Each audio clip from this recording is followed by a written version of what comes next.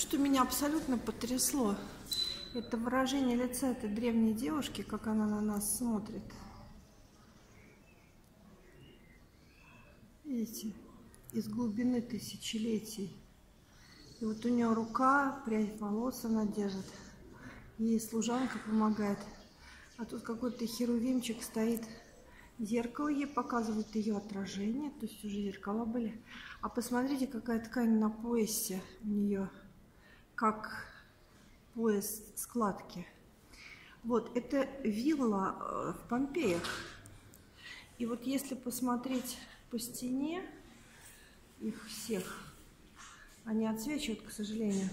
Ну, посмотрите сейчас, фантастика. Смотрите, читающий мальчик или девочка, я не знаю, читает что-то с большим интересом.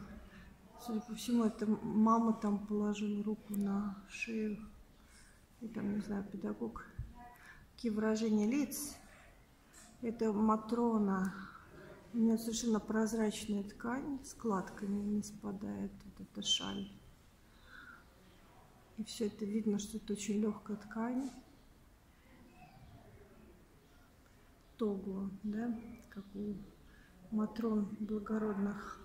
Дальше у нас идет служанка, которая отдаляется. какой у нее какой-то взгляд на нас вот, и блюдо в руках с едой. И как это все вот просто совершенно, вся эта живопись, без всякой скидки на время. Какое сочетание цветов. И потом только вот Филиппо Липпи где-то вот достиг такого потом совершенства. А вот этот вот с бородой. А дальше потрясающая фреска, вот это, я не знаю, мне удастся ее. Это пьющее вино из рук сатира. Другой выглядывает из двери, и стоит какой-то молодой человек сзади. Ну, в общем, это же вообще сатирическая картина. Вот видите, какое выражение у этого маска, какая из двери выглядывает.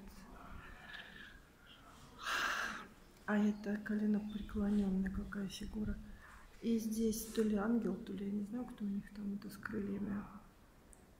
Это можно сойти с ума. А это какая фигура сейчас?